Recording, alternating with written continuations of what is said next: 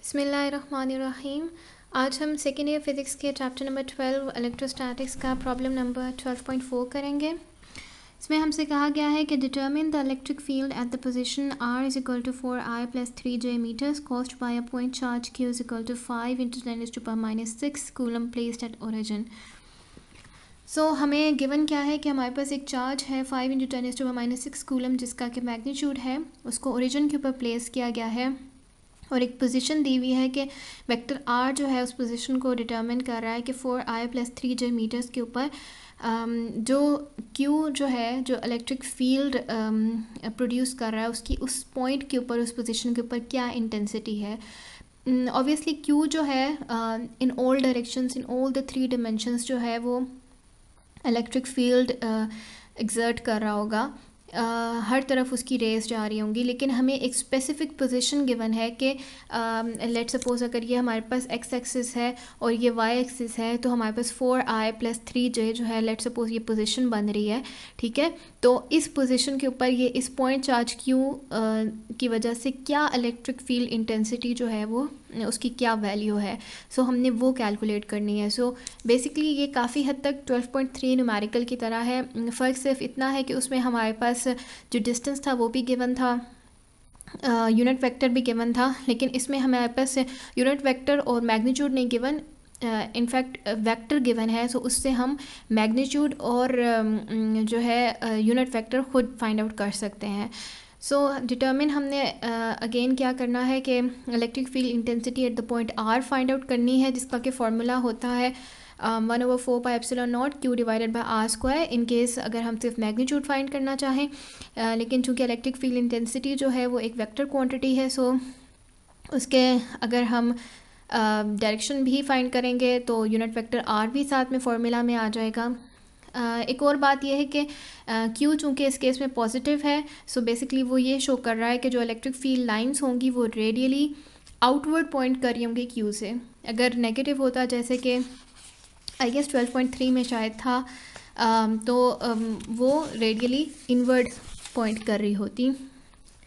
Next है हमारे पास कि हमारे पास वेक्टर आर जो गिवन है उससे हमने आर का मैग्नीट्यूड फाइंड करना है और यूनिट वेक्टर आर फाइंड करना है।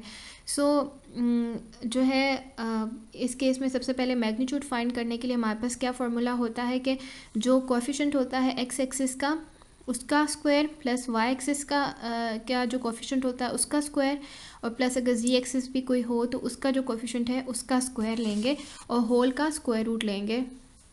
तो हमने सारे कोफिशेंट्स जो हैं वो यहाँ पे लिख दिए हैं। एक्स एक्सेस का कोफिशेंट फोर है वाई का थ्री है और जी का ज़ीरो है क्योंकि जी एक्सेस नहीं है इस केस में। तो आ, हमारे पास सिक्सटीन प्लस नाइन आ गया स्क्वायर लेने के बाद और ट्वेंटी फाइव ट्वेंटी फाइव के समेशन के बाद ट्वेंटी फाइव है। ट्वेंटी फाइव का हमने जब स्क्वायर रूट लिया तो हमारे पास मैग्नीट्यूड आर का क्या आ गया? वेक्टर आर का मैग्नीट्यूड है फाइव उसके बाद अगर हम यूनिट वेक्टर आर जब हमने फाइंड करना है तो वो क्या होता है कि vector R divided by the magnitude of vector R तो वेक्टर आर हमें क्वेश्चन में डाटा में गिवन था four I plus three J और मैग्नीट्यूड हमने खुद फाइंड कर लिया. So this whole is basically the unit vector R उसके बाद फाइनली हमने क्या करना है कि वैल्यूज़ इंसर्ट कर देनी है। इस फॉर्मूला में is equal to one over four pi epsilon naught q divided by r square into unit vector r में one over four pi epsilon naught एक कांस्टेंट है, जिसकी की वैल्यू है nine into ten raise to power nine q की value given है five into ten raise to power minus six r की value हमने कैलकुलेट की है फाइव जिसका कि हमने स्क्वायर लेना है।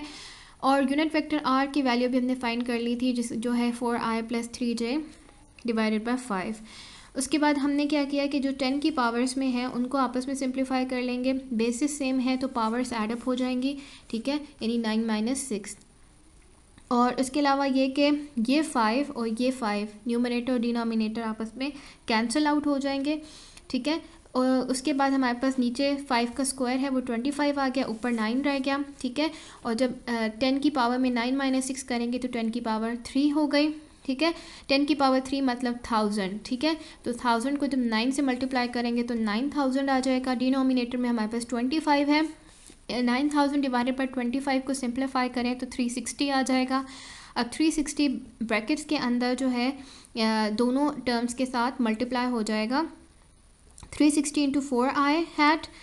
Plus three sixty into three J hat ठीक है? uh, और जब हम मल्टीप्लाई करेंगे तो हमारे पास फाइनल आंसर आ जाएगा। Electric field intensity at the point R के हमारे पास है fourteen hundred forty I hat plus one thousand eighty J hat और इसकी यूनिट्स हैं newtons per coulomb and that's all for this numerical thank you very much